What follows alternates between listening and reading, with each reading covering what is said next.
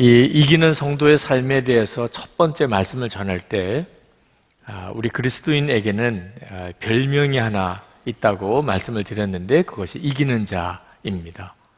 아, 우리가 마지막에 하나님 앞에 가서 섰을 때 그때는 우리에게 그리스도라고 하는 그리스도인이라고 하는 이름뿐만 아니고 이기는 자라고 하는 이름이 같이 있어야만 하나님 앞에 서게 됩니다. 요한계시록 2장, 3장, 마지막 20, 21장 이렇게 보면 아, 거기에 어, 이기는 자만이 아, 하나님 앞에 서게 된다고 그렇게 언급이 되어 있어요. 요한계시록 2장 7절에 보면 이기는 그에게는 내가 하나님의 낙원에 있는 생명나무의 열매를 주어 먹게 하리라. 11절에 이기는 자는 둘째 사망의 해를 받지 아니하리라. 17절, 2장 26절, 3장 5절, 3장 12절, 3장 21절, 21장 7절 다 마지막 때 우리가 그저 예수 믿는 사람, 그저 교회 다니는 사람, 세례 받은 사람 이런 이름이 아니고 그때는 다 이기는 자입니다. 그러니까 우리가 지금 이기는 자의 삶을 사는 것은 대단히 중요합니다. 내가 정말 구원받은 자인지, 아, 내가 정말 하나님의 자녀인지는 이기는 자라는 이름을 가졌는지에 달라지는 겁니다. 여러분, 여러분에게 아, 정말 이기는 자의 삶의 은혜가 있기를 축복합니다. 이번 성령 집회 오늘까지 마무리하면서 어, 정말 제 마음 속에 여러분의 마음이 어, 그동안에 어, 정말 지는 삶, 어, 또 실패하는 삶, 무너진 삶, 어, 그런 가운데서 있었다고 한다면 완전히 여러분의 삶이 변화되어서 이기는 자의 삶의 반열에 서게 되기를 하나님이 그렇게 역사해 주시기를 기도했어요. 그러니까 오늘 한 짧은 이제 10시까지 한 50분 정도의 시간이 지나고 여러분의 삶 속에 아, 이기는 자의 아주 견고하게 그 반석 위에 서는 역사가 있게 되기를 원합니다. 우리가 어, 운동 경기를 보면 말입니다. 이기는 팀은 분위기가 다릅니다. 그래서 스코어를 몰라도 대략 조금 보면 아, 어느 팀이 이기고 있구나 하는 것을 금방 느끼게 됩니다. 이기는 팀에게는 이기는 팀의 분위기가 있어요. 지금도 성도들이 아, 실제로 살아가고 또 어, 신앙생활 하는데 분위기가 있어요. 말은, 말은 대단한 믿음이에요. 어떤 어려움을 당했는데, 어, 그가 그렇게 말합니다. 이것도 다 하나님의 뜻이겠죠. 저는 그래도 믿습니다. 아유, 감사하지요. 대단한 고백이에요. 그런 어려움을 만났는데 그런 참 어, 환란을 겪었는데 어, 믿는다 그러고 오히려 감사한다 그러고 그게 하나님의 뜻이겠죠. 이렇게 고백하는 것은 그건 정말 대단한 거죠. 그런데 분위기가 조금 문제가 있어요.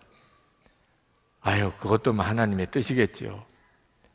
그 고백이 가지고 있는 엄청난 파워에 비하면 그것을 표현하는 사람의 말의 분위기는 그 사람이 지고 있다고 하는 뜻을 아, 우리에게 주, 전해주는 거거든요.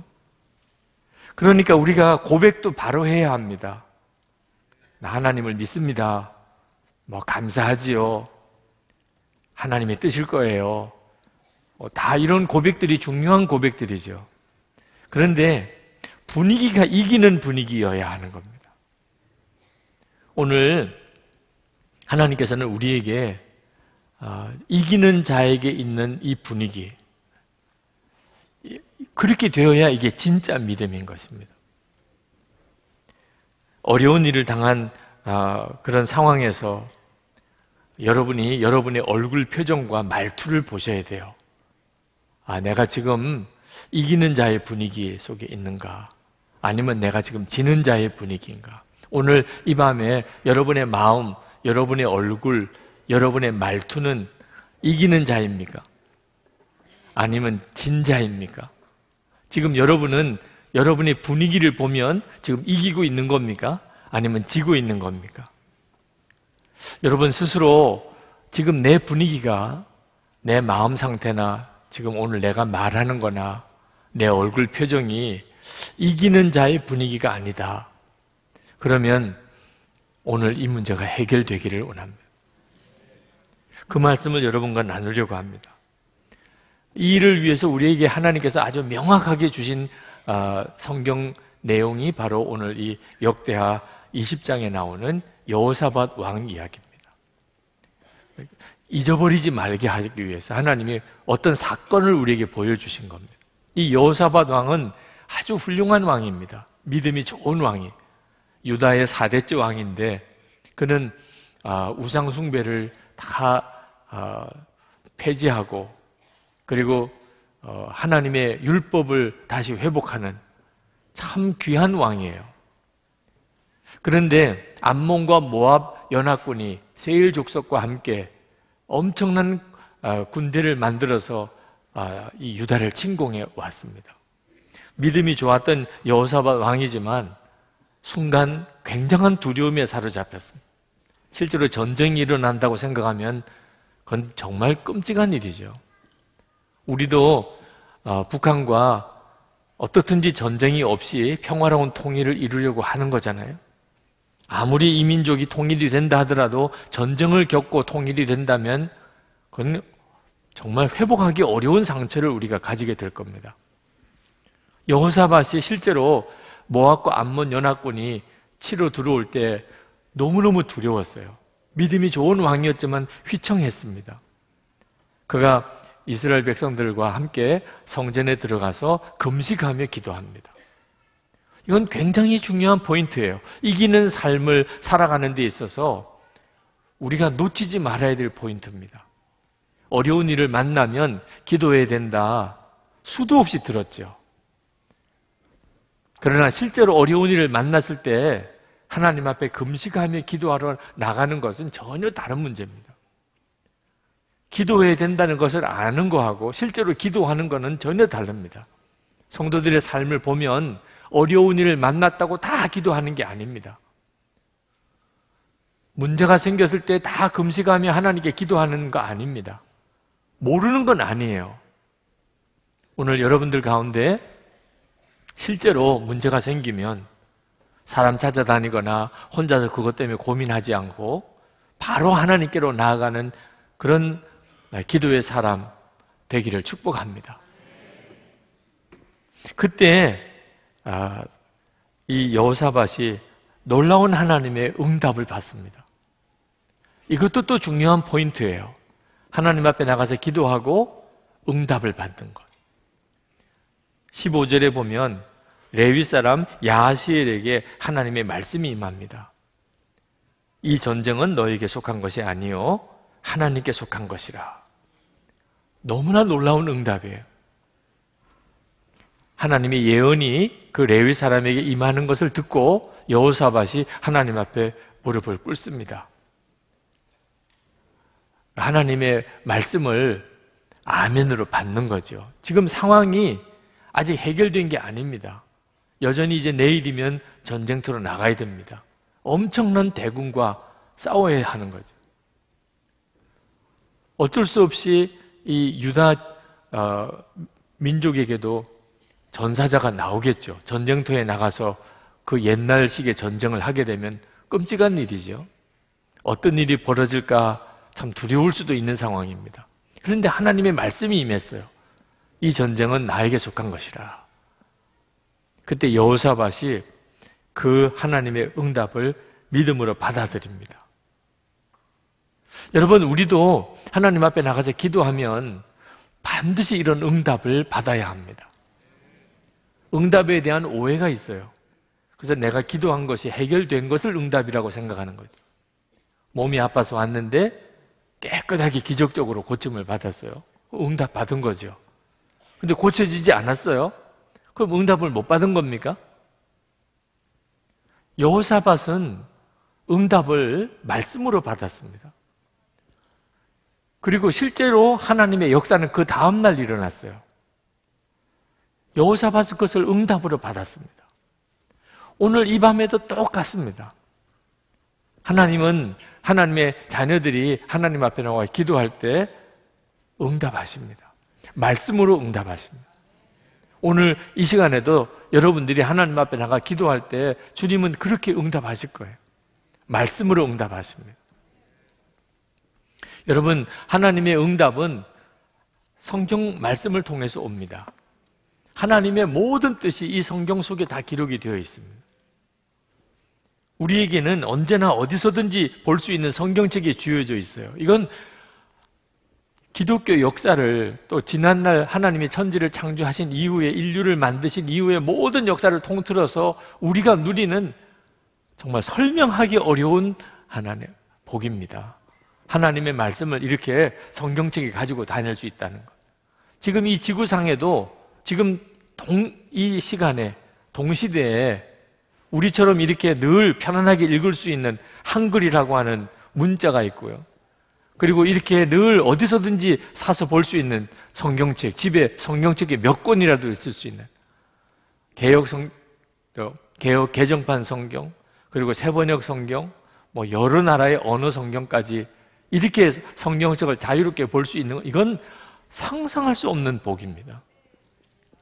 여러분이 하나님께 기도하면 하나님은 반드시 이 말씀을 통해서 응답해 주십니다.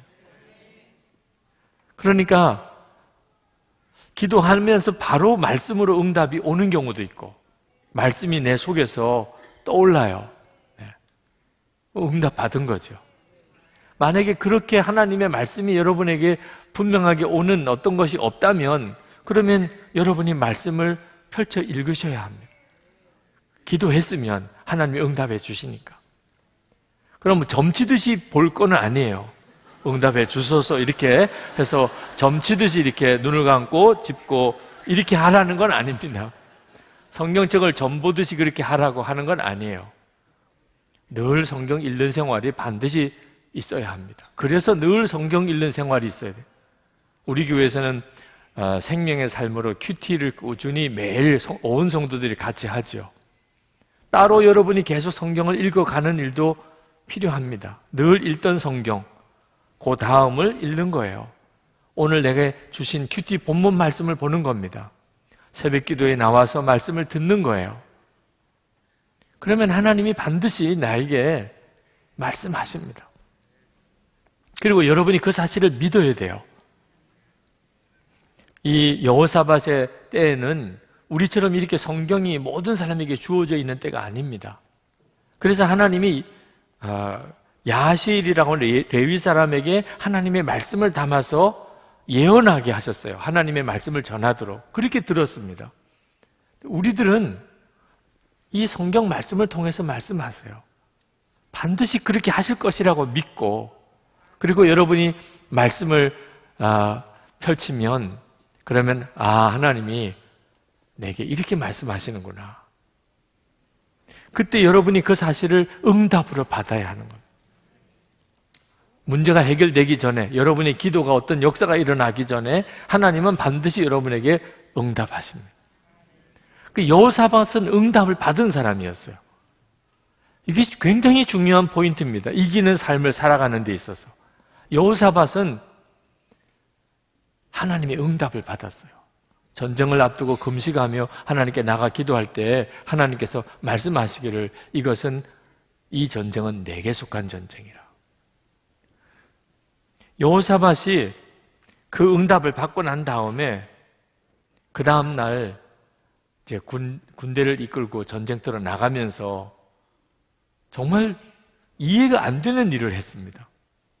그 군대 맨 앞에 찬양대를 세웠어요. 어, 그들이 예복을 입고 그리고 악기를 들고 그리고 하나님을 찬양하면서 그렇게 그들이 전쟁터로 나간 겁니다. 여러분 이건 뭘 의미하는 거지요? 여호사밭이 하나님의 말씀을 정말 믿음으로 받았다는 것입니다. 하나님이 여호사밭에게 찬양대를 세우라 그렇게 말씀하신 것이 없어요. 하나님은 그렇게 지시 안 하셨습니다. 하나님이 구체적으로 어떤 지시를 하실 때가 있습니다.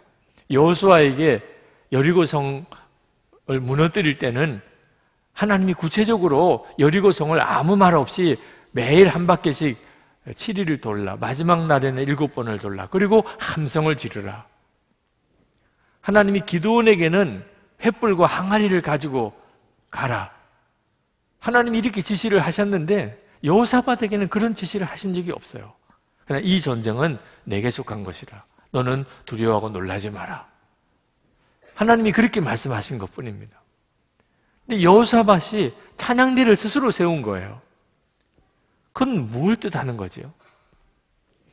여호수아는 여호사밧은 하나님이 말씀하셨어요. 그 다음에 우리가 그것을 받아들이느냐 안 받아들이느냐는 것은 또 우리들의 문제예요. 하나님의 말씀을 들었어요. 여호사밧은 그것을 믿음으로 받았습니다. 이 전쟁은 하나님에게 속한 전쟁이구나.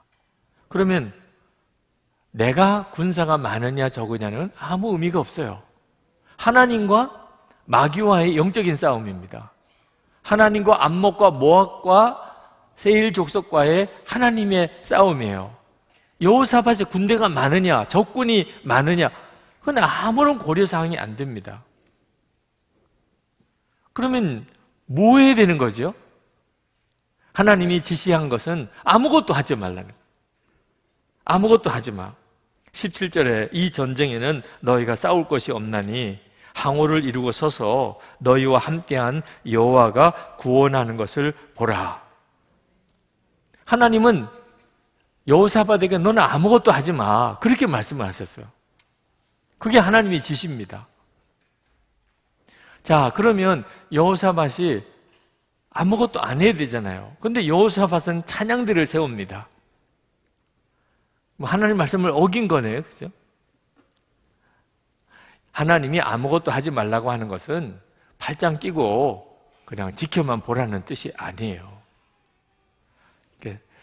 모압과 암몬 족속과 싸우려고 애를 쓰지 말라는 거죠. 너는 모압과 암몬과 싸우려고 애를 쓰지 마. 그 뜻인 거야. 아무것도 하지 말.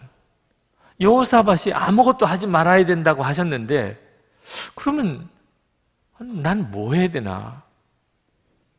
답이 온 거예요. 찬양하는 거지. 키스 인트레이터 목사님, 이 유대인 목사님이신데 그 목사님이 아, 한국에 오셔서 집회를 하실 때 전적으로 성령님에게만 순종하고 스스로의 노력과 아, 열심을 가지고서 신앙생활 잘해보려고 또 무슨 어떤 은사를 받아보려고 하지 말라고 그날 그 메시지의 주제예요. 전적으로 주님께 맡기라. 우리가 스스로 노력해서 자아의 열심으로 그렇게 살려고 하지 마시라. 제발 그렇게 율법적으로 그렇게 하나님 앞에 무언가 공적을 쌓아 올려드려서 하나님으로부터 보상을 받으려고 이렇게 신앙생활 하지 마라. 전적으로 주님께 맡기라. 그렇게 말씀을 전하고 그리고 이제 성령님이 역사하실 것이라고. 여러분들에게 성령님이 역사하실 것이라. 그리고 통성기도 시간을 가졌어요. 근데 목사님이 기도를 이렇게 인도하면서 보니까 어느 자매가 뒤에서 팔짱을 끼고 가만히 있더래요. 기도를 하라고 그랬는데 기도도 안 하고. 그래서 그 자매에게 물었어요. 왜 기도 안 하고 가만히 있느냐? 가만히 있으래매요. 가만히 있으랬잖아요. 그렇게 반응하는 자매가 있었다고 하는 이야기를 들었는데 여사밭이 정말 말로만 보면 그렇게 되는 상황이죠. 아무것도 하지 말라 그랬으니까. 여호사밭이 알았어요. 아무것도 하지 말라는 것은 내 노력과 열심, 수단과 방법을 가지고 암몬 모압과 싸워서 이기려고 하지 마라. 그런 뜻에서는 정말 아무것도 하지 않는 거예요. 그런데 이제 하나님이 하나님의 전쟁을 싸우시겠다고 하셨는데 할 일이 있어요. 그게 뭐지요? 찬양하는 겁니다. 하나님을 찬양하는 거. 여호사밭이 그렇게 생각이 간 거예요. 그게 바로 믿음이고 진짜 아무것도 안 하는 거예요. 아, 찬양하는 게 있겠구나. 여러분, 월드컵 축구가 이제 대회가 열리고 나면 우리 한국이 어, 참가하는 나라가 되어서 만약에 나간다고 합시다. 그러면 우리가 할 수 있는 게 뭐 있어요? 선수로 나가는 겁니까? 그러면 끔찍한 재앙이죠. 네. 여기 있는 사람 중에 어느 한 사람이라도 선수로 나가게 되면 완전히 우리는 정말 재앙이죠. 그런 뜻에서 아무것도 하지 마. 우리가 뭘 좀 해드릴까요? 제가 좀 한 10분이라도 띄워드릴까요? 아, 기겁을 하면서 아무것도 하지 말라고 아마 그럴 거예요. 네. 그러면 정말 아무것도 안 하고 그다음 팔짱 끼고 있을 겁니까? 우리가 할 일이 있는 거죠. 그게 응원 아닙니까? 그죠? 똑같아요. 하나님께서 우리를 대신하여 싸우시는 것, 그것이 성도의 말할 수 없는 복입니다. 근데 우리가 할 일은 정말 아무것도 없어요. 우리는 너무 우리 스스로가 잘 살아보려고 애를 쓰니까, 잘해보려고 애를 쓰니까 항상 문제인 겁니다. 낙심하는 것도 거기서 오는 거고, 그리고 스스로 시험에 빠지는 거예요. 우리는 진짜 주님만 믿고 사는 것에 정말 훈련되지 못한 것이 안타까워요. 나는 죽었습니다. 많은 분들이 그것 때문에 혼란스러워해요. 죽었다고 그러면서 그러면 이제 뭐 해야 되는 거죠? 죽었는데 영성을 쓰시라고 그랬더니 죽었기 때문에 안 쓰신다고 그러더라고요.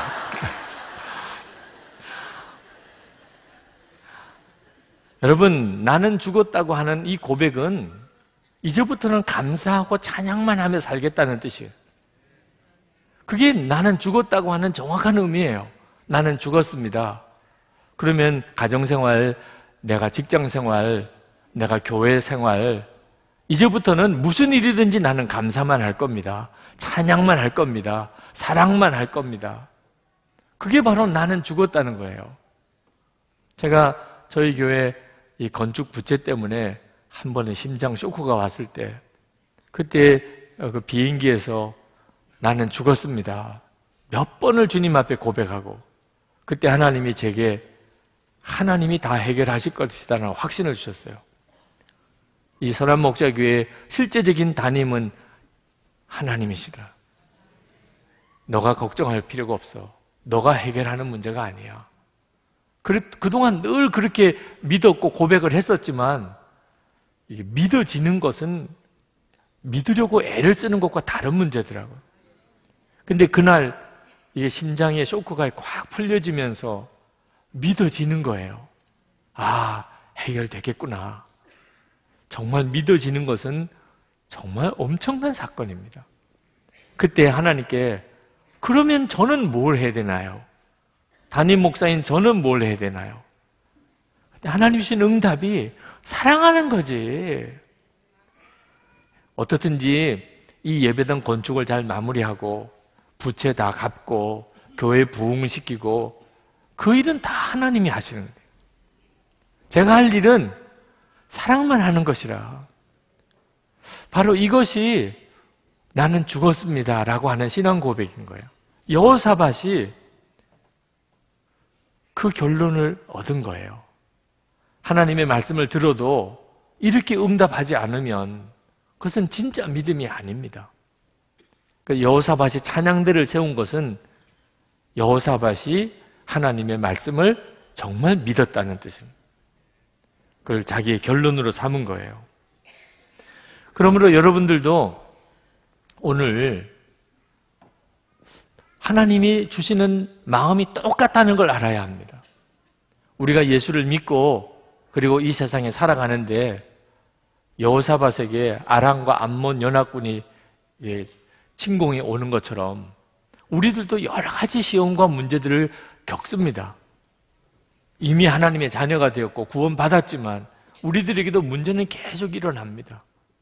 그때 여러분의 입에서 죽겠다, 못 살겠다. 이렇게 하지 않게 돼야 하는 겁니다. 그건 성도의 분위기가 아닌 거예요. 여호사밭이 전쟁터로 나가면서 아직 이긴 싸움 아닙니다. 그러나 여호사밭은 확실하게 마음으로 이겼다고 받았어요. 눈앞의 현실은 아직까지 아니에요. 그때 여호사밭이 할 수 있는 일은 찬양하는 것이에요. 오늘도 여러분이 여전히 문제를 가지고 있어요. 그때 우리가 하나님 앞에 올려드릴 내용은 하나님 죽겠어요. 하나님 너무 힘들어요. 하나님 어떻든지 도와주세요. 라는 것보다 찬양하는 것이에요. 감사하는 것입니다. 야고보서 1장 2절에 내 형제들아 너희가 여러 가지 시험을 만나거든 온전히 기쁘게 여기라. 온전히 기쁘게 여기라. 이것이 하나님께서 우리를 향하여 보고 싶어 하시는 거예요. 우리가 진짜 믿는지, 정말 구원받은 자인지, 우리가 문제가 있는 상황에서 그것을 보고 싶어 하시는 거예요. 만약에 우리가 문제가 없기 때문에 편안해하고 감사하고 찬양한다면 믿음이 무슨 의미가 있어요? 문제가 많은데 정말 두려운 형편인데 죽을 것 같은데 그때 내 믿음이 감사하고 찬양하게 한다면 이건 정말 놀라운 일이죠. 하나님이 그것을 보고 싶어 한다는 거예요. 이것이 바로 이기는 자의 분위기인 것입니다. 이 이기는 자의 찬양은 그저 나오는 거 아닙니다. 그러나 오늘도 그냥 그런 분위기가 여러분에게 오기를 그렇게 막연하게 기다리면 안 됩니다. 아, 나는 안 되는데 이렇게만 할 문제가 아니에요. 오늘 여호사밧의 이야기를 가만히 읽어 보셨잖아요. 금식하며 하나님의 성전에 들어가서 기도하는 것이 있었습니다. 여호사밧도 처음부터 그런 믿음이 있었던 건 아니었어요. 금식하며 하나님께 나가 기도하는 걱정만 하고 기도는 못하는 단계에서 기도하는 자리로 가야 합니다. 정말 이제는 하나님 앞에 정면 주님을 대면하는 기도 시간을 가져야 합니다. 그리고 두 번째는 반드시 응답을 받아야 합니다. 말씀으로 응답을 주세요. 신비한 어떤 음성을 들으려고 하지 말고 말씀을 펼쳐 읽어야 하는 거예요. 그냥 눈물로 하나님 어떻게 역사해 주세요, 어떻게 역사해 주세요 라고만 끝내지 말고 말씀을 펼쳐 읽으셔야 한다. 하나님이 말씀하실 수 있는 통로를 열어 놓아야 하는 거죠. 그리고 말씀이 왔을 때, 그 다음이 중요해요. 하나님 나에게 말씀을 주셨을 때. 그때 여러분이 여호사바처럼 전심으로 믿음으로 반응해야 하는 거죠. 이것이 바로 믿음, 승리의 분위기가 나오는 거예요. 응답을 가진 사람만 할 수 있는 것입니다. 르에미야 8장 10절에 여호와를 기뻐하는 것이 너희의 힘이라. 그 사실을 명심해야 합니다. 여러분이 환란과 어려운 문제를 만났을 때, 여러 가지 시험을 당했을 때 힘이 필요한데 말. 이겨내려면 힘이 있어야 되잖아요. 근데 그 힘이 어디서 오느냐 하는 거예요. 여호와를 기뻐하는 것에서부터 오는 그래서 우리는 어떤 처지에서도 찬양하고 기뻐할 수 있어요. 우리가 기뻐하는 것은 문제가 해결된 것 때문에 오는 게 아니니까. 우리가 기뻐하는 건 여호와를 기뻐하는 거예요. 편안한 것을 기뻐하는 게 아니고 문제가 다 해결된 걸 기뻐하는 게 아니고 내가 성공한 것을 기뻐하는 게 아니고 여호와를 기뻐하는 것이 너희의 힘이라고 그랬잖아요. 여러분 힘들고 어려운데 어떻게 내가 찬양하고 기뻐할 수 있을까? 전적으로 성령님의 역사 때문입니다. 예수님께서 성령님은 도대체 무엇 때문에 우리에게 보내주신 건가? 명확하게 설명하셔서 제일 먼저 성령님이 우리에게 왜 오셨나? 무슨 일을 하시나? 여러분 성령의 역사는 여러 가지가 있어요. 뭐 방언으로 기도하기도 하시고 또는 무슨 은사로 신유의 기적도 주시기도 하고 여러 가지 성령의 역사가 있지만 성령님은 우리에게 왜 오신 건가? 예수님께서 요한복음 14장에서 처음 성령님에 대한 언급을 우리에게 구체적으로 하십니다. 왜 성령을 보내시는 건지. 예수님이 이렇게 말씀하셨어요. 17절에, 요한복음 14장 17절에. 그는 진리의 영이라 세상은 능히 그를 받지 못하나니 이는 그를 보지도 못하고 알지도 못합니다. 그러나 너희는 그를 안하니 그는 너희와 함께 거하시며 또 너희 속에 계시겠습니다. 성령님이 우리에게 오실 것이라고 말씀하시는 거죠. 지금 우리가 다 지금 이 은혜를 받고 있어요. 우리는 우리 안에 성령이 와 계신 것을 압니다. 모르세요? 왜 오셨어요, 여기에? 어떻게 오셨어요? 네. 절인 줄 알고 오셨어요? 여러분이 지금 여기에 와 있다는 게 여러분 안에 성령님이 역사하시는 너무나 놀라운 증거예요. 그런데 이 성령님이 우리에게 왜 오셨는가? 26절에 요한복음 14장 26절에 보혜사 곧 아버지께서 내 이름으로 보내실 성령 그가 너희에게 모든 것을 가르치고 내가 너희에게 말한 모든 것을 생각나게 하리라. 우리 안에 오신 성령님이 하시는 일은 예수님에 대해서 가르치는 거예요. 예수님이 하신 말씀을 생각나게 하는 거예요. 우리가 성령님의 도우심으로 주 예수님을 바라보는 거예요. 24시간 주님을 바라보자고 하는데 전적으로 성령님이 역사하시는 일입니다. 그래서 아는 거예요. 주님이 내 안에 오신 것을. 성령님이 그걸 알게 하시는 거예요. 그러니까 성령님이 하시는 가장 중요한 일, 우리에게 오셔서 예수님을 바라보게 하고 그리고 주의 말씀을 알게 해 주시는 겁니다. 요한복음 16장 14절에 그가 내 영광을 나타내리니 내 것을 가지고 너희에게 알리시겠습니다. 성령님은 자기 자신을 드러내려고 하지 않으시고 전적으로 예수님만 드러내시려고 하십니다. 그래서 우리가 그냥 예수를 바라보자고 하는 거예요. 그 속에는 성부 하나님도 그리고 성령님도 다들 다 들어있는 개념이죠. 우리가 주님을 이렇게 바라보면서 우리가 하는 우리 안에 일어나는 반응이 찬양이에요. 예수님께서 나를 위해서 십자가에 죽으신 것과 그리고 그 주님이 나에게 주신 말씀들이 생각나면서 주님을 찬양하게 되는 거예요. 성령 충만하면 다 그렇게 돼요. 에베소서 5장 18절에 술 취하지 마라. 이는 방탕한 것이니 오직 성령으로 충만함을 받으라.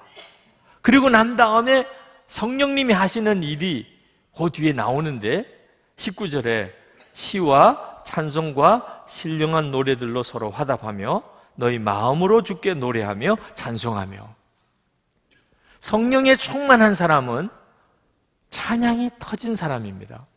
그런데 이 찬양은 내 문제가 해결되고 내가 성공하고 그리고 어떤 응답을 받았고 그래서 찬양하는 게 아니고 주께 노래하며 찬양하며 주님이 나와 함께 계심에 대해서 눈이 뜨이면서부터 나오는 찬양이에요. 그렇기 때문에 형편과 아무 상관이 없어요.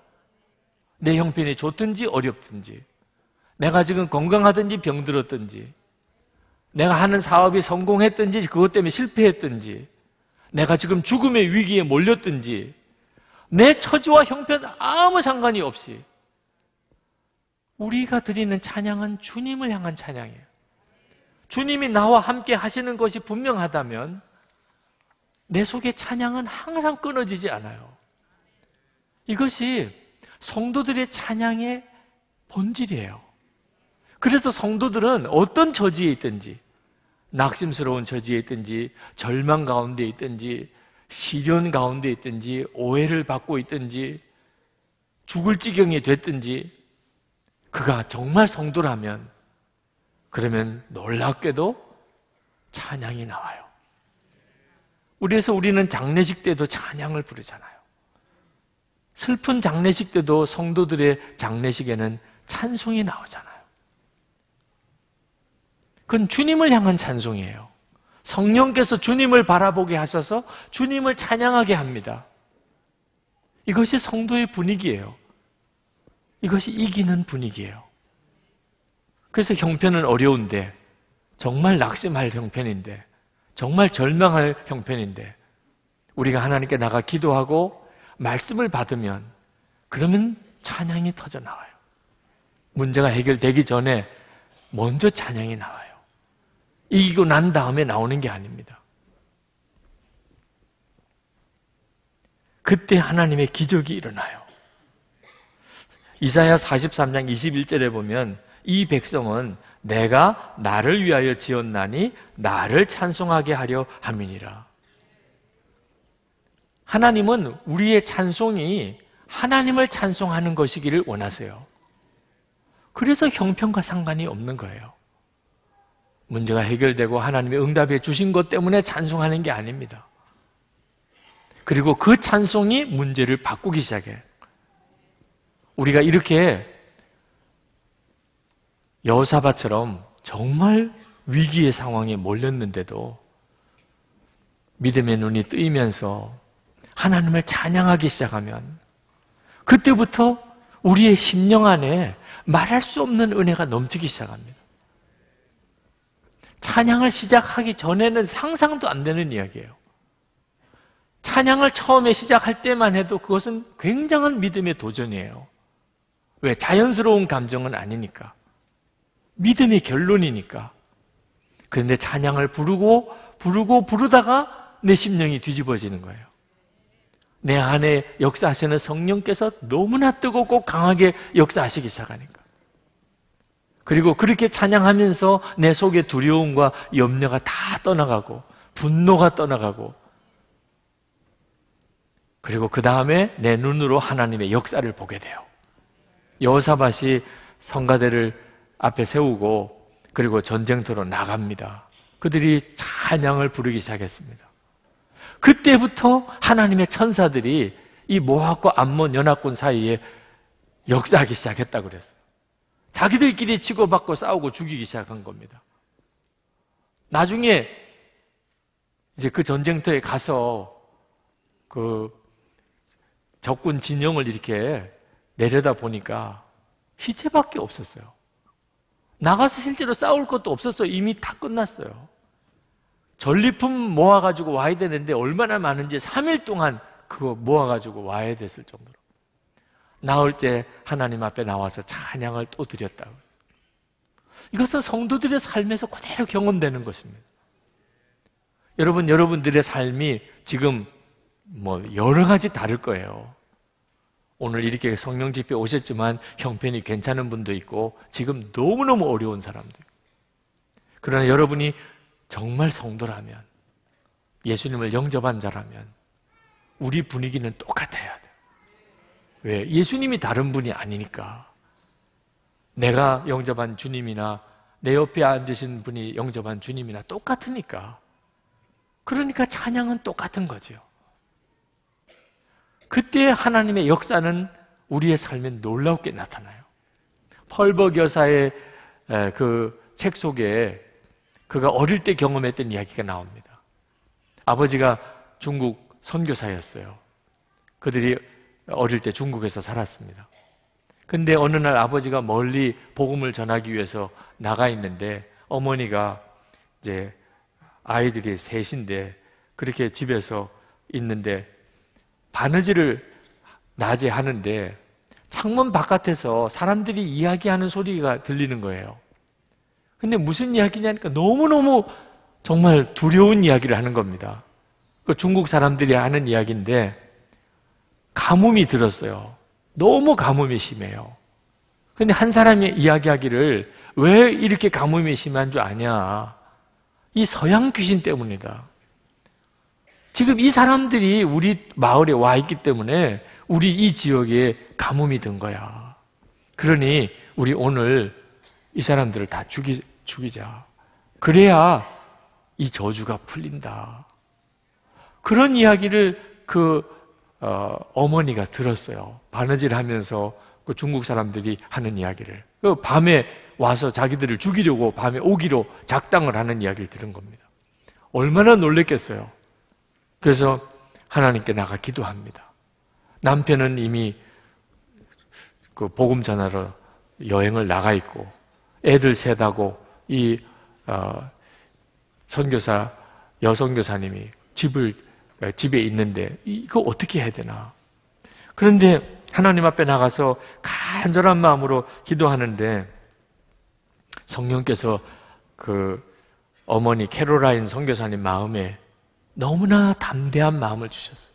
그리고 지혜를 주셨어요. 어떻게 하라? 지혜를 주셨어요. 저녁이 됐습니다. 아무 일 없는 것처럼 평소와 똑같이 그렇게 저녁을 먹고 어, 그리고 아이들을 이제 재우려고 하는데 진짜 중국 사람들이 막 무리를 지어서 집에 막 쳐들어 들어온 거예요. 들이닥쳤습니다. 막 흉기들을 들고 그때 이 캐롤라인 선교사님이 전혀 당황하지 않고 그것 때문에 먼저 놀래거나 그 사람들에 대해서 무슨 험한 이야기를 하지도 않고 정말 귀한 손님이 오신 것처럼 어서 들어오시라고. 그러니까 죽이려고 들어왔던 사람들이 난감한 거예요. 너무 정중하게 반갑게 맞아주니까 어서 들어오시라고. 그리고는 준비한 다과를 그 사람들 앞에 이렇게 내놓는 겁니다. 죽이려고 들어왔는데 앞에 다과상이 이렇게 차려져 있어요. 그러니까 묘한 권위가 있는 거예요. 다 앉아서 이제 다과를 먹기 시작하는 겁니다. 주기로 들어왔다가 다 차를 마시고 있는 거예요. 그때 그 캐롤라인 선교사님이 올리겐 앞에 앉았어요. 그리고 중국어로 찬송을 부르기 시작합니다. 중국어 찬송을. 찬송이 끝날 때까지 방 안은 조용해요. 누구도 큰 소리 안 내요. 분위기가 그럴 분위기가 아닌 분위기예요. 무언가가 그들을 정말 완전히 사로잡고 있는 것 같았어요.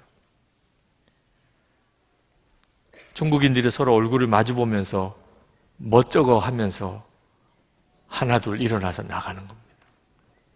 이 펄벅 여사가 어릴 때 경험했던 사건입니다. 자기들을 죽이려고 들어왔던 그 중국인들로부터 하나님이 자기들을 보호하시는 그 과정을. 여러분, 하나님이 오늘 우리에게 원하시는 것이 두려워하는 마음, 조급한 마음, 좌절하는 마음, 분노하는 마음 아니에요. 그건 하나님이 역사할 수 없는 마음 상태예요. 이미 분위기를 잃어버렸어요. 하나님이 역사할 수 있는 분위기를 놓치고 있는 거예요.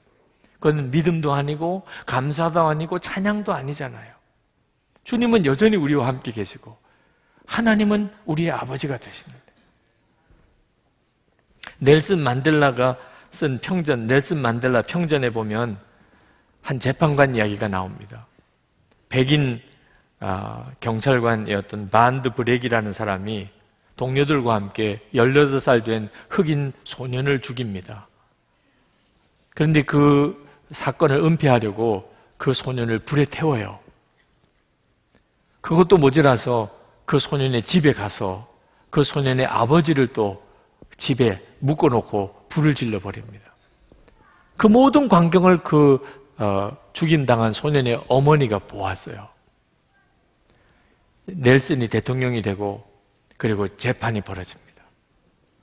이 반드 브렉이라는 백인 경찰관 재판을 할 때 판사가 그 남편과 아들을 잃은 노 부인에게 물어요. 어떤 판결을 내려주기를 원합니까? 그때 그 부인이 자리에 일어나서 세 가지 요구를 합니다. 판사님, 남편과 아들의 장례를 치러야 되는데 저 반드 브렉스에게 남편의 시신을 불태운 장소로 가서 그 죄를 좀 모아달라고 해주십시오. 그것이 자기가 원하는 첫 번째. 두 번째는 반드 브렉시가 우리 가족들을 전부 죽였지만 나는 그와 함께 나눌 사랑을 여전히 가지고 있기에 한 달에 두 번 우리 집에 와서 나와 함께 시간을 보내기를 원합니다. 내가 그에게 엄마 노릇을 해주고 싶습니다. 세 번째, 그가 하나님의 용서를 받았다는 것과 나도 그를 용서했다는 사실을 그가 기억했으면 좋겠습니다. 내가 진심으로 그를 용서했다는 사실을 그에게 알게 하기 위해서 내가 그를 한번 안아주고 싶습니다. 그러면서 판사가 그렇게 하라고 하니까 이 부인이 일어나서 그 피고인석에 있는 반드 브렉시를 향하여 걸어가요. 그때 그 재판정 속에 방청객으로 왔던 사람들 중에 한 사람이 찬송을 부르기 시작했습니다. 나 같은 죄인 살리신 그 찬송을. 그러니까 두 사람, 세 사람, 그리고 방청객들이 다 그 찬송을 부르는 겁니다. 노 부인은 그 반드 브렉이라고 하는 백인 경찰관에게로 이렇게 가는 도중에 어떤 일이 벌어졌겠습니까? 그 백인 경찰관이 졸도를 해버리고 말았어요. 감당을 못 하겠는 거예요. 이 찬송과 자기를 안아주려고 오는 그 노 부인을 감당을 못 하겠는 거예요. 그래서 그냥 그 자리에서 그가 그 흉악한 정말 성격이 거친 그 백일 경찰관이 졸도해 버립니다. 여러분 우리가 역경 중에 하나님을 찬양하면 사람 중에 졸도하는 사람은 없을지 모르지만 졸도하는 자가 나와요. 마귀입니다. 마귀. 처음에는 우리가 역경 중에 하나님을 찬양하고 감사하면 화를 낼 거예요. 막 화를 낼 겁니다. 왜? 마귀가 원하는 건 그게 아니거든요. 낙심하고 좌절하고 한탄하고 두려워하고 사람에게 분노하고 나중에는 하나님에게 분노하고 그게 마귀가 가지고 있는 각본이거든요. 그런데 찬양하고 감사해요. 그래서 더 어려움을 주어요. 더 어려움을. 이래도 너가 찬양할 수 있겠냐? 그때도 하나님께 감사하면 마귀는 정말 너무너무 분노하게 될 거예요. 그래서 더 어렵게 할 거예요. 이제는 진짜 끝장날 것 같은 상황까지 갈 거예요. 그래도 하나님을 찬양해요. 졸도밖에 더 하겠어요. 우리는 진짜 마귀에게 얼마나 많이 시달리고 삽니까? 이제는 마귀를 정말 공격할 수 있어야 되는. 그게 찬양인 거예요. 형편이 좋을 때, 그건 찬양이 아무런 믿음의 증거가 안 됩니다. 근데 너무너무 어려울 때 바울과 신라가 빌립보 감옥에서 그가 무지하게 매를 맞고 전도한다고 그렇게 매를 맞고 갇혔을 때 찬양했죠. 여러분 이 절망적인 어려움 속에서 하나님께 드리는 찬양은요 알고 보면 놀라운 축복이에요. 우리에게 이럴 기회가 죽고 나면 오지 않습니다. 하나님의 나라에서 그런 일이 있을 수 없죠. 천사들도 그런 찬양 못 불러요. 왜? 천사들에게 그런 일이 일어나지 않으니까. 우리가 이 세상 사는 요 얼마 안 되는 기간 동안에만 이해가 안 되는 일이 벌어지고 환란이 오고 어려움이 올 때 그럼에도 불구하고 찬양하는 찬양. 천사도 못 부르는 찬양이에요. 이건 정말 기회인 거예요. 이따금 하나님은 저에게 너 기쁨이 어디 있느냐 물으실 때가 있어요. 목회하고 또 주의 일 한다고 할 때도 어떤 때는 예기치 못한 어려움을 이렇게 만나게 됩니다. 순간 휘청거리게 돼요. 열심히 해보려고 하면서도 나도 모르는 사이에 긴장하고 힘들어하고 그때 주님은 영락 없이 저에게 물으세요. 너 기쁨이 어디 있냐? 한 번은 우리 목사님들과 아, 기도회를 하는데 그때도 주님이 물으셨어요. 너희들의 분위기가 왜 이러냐? 제가 가만히 그 기도의 분위기를 봤어요. 목사님들만 모인 기도예요.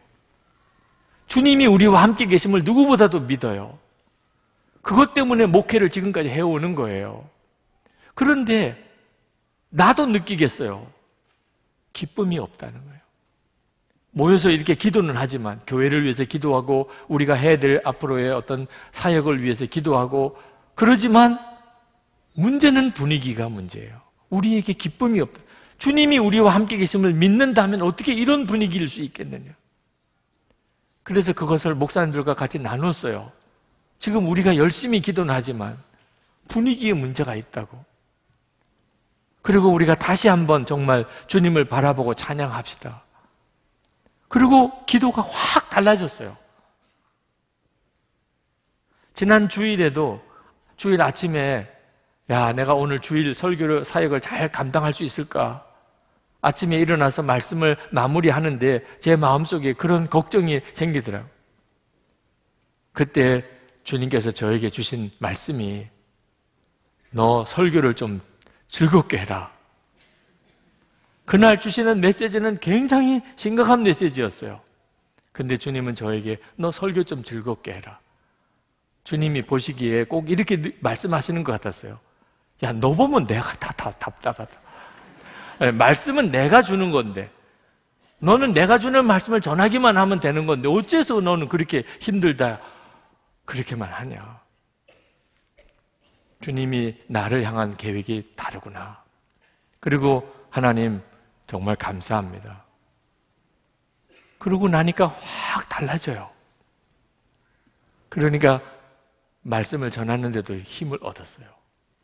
오늘 이 밤에도 여러분 주의 말씀을 붙잡으셔야 돼요. 그리스도인의 별명은 이기는 자예요.